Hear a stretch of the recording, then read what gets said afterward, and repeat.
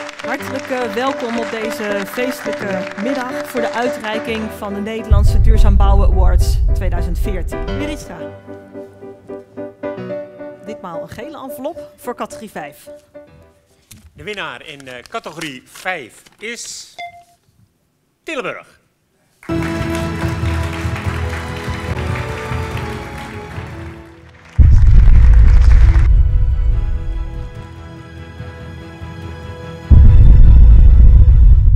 Wij denken dat we de laatste jaren toch een aantal gebouwen neergezet hebben die uh, de duurzaamheidstoets goed kunnen doorstaan en die ook een hoge GPS-score hebben. En dan denk ik vooral aan een aantal multifunctionele accommodaties die we onlangs nieuw gebouwd hebben. Maar bijvoorbeeld ook dit, dit gebouw waar we nu staan, het presgebouw, wat een bestaand gebouw is. En waarin we het gebouw een, een, tweede leven of misschien wel een vierde leven gegeven hebben. Na alle functies die het in de geschiedenis gehad heeft.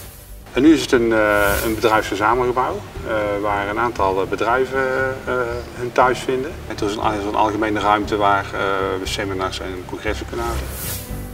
Nou, allereerst hoef je natuurlijk voor een dergelijk gebouw wat je opnieuw gaat gebruiken het casco niet opnieuw te bouwen. dat heb je al. Dus dat geeft een enorme besparing in materiaalgebruik. Voorts heeft dit gebouw een duurzame installatie, energiezuinige installatie. Uh, we werken hier met uh, wand- en vloerverwarming, uh, met de warmteterugwinning in de ventilatie.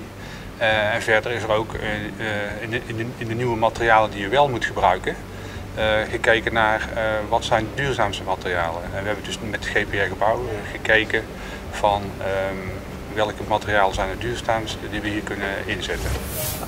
Wij, wij, vragen aan, aan anderen om, om duurzaam te bouwen binnen onze gemeente. Dan vinden we dat we zelf ook het goede voorbeeld moeten geven. En uh, dus ook in ons eigen vastgoed aandacht moeten geven aan duurzaamheid. Dank jullie wel.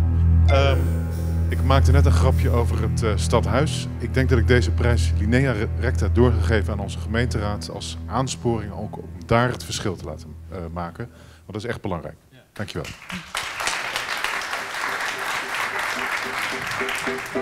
Nou, meneer De Vries, gastheer, maar ook winnaar. Hoe voelt dat?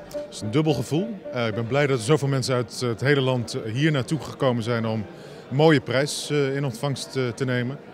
En ik ben zelf, bleek geleidelijk in het programma, ook een van de gelukkigen.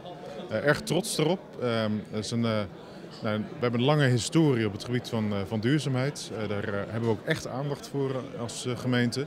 Het is mooi dat het een keer onderscheiden wordt. Dus we nemen deze met trots mee naar huis.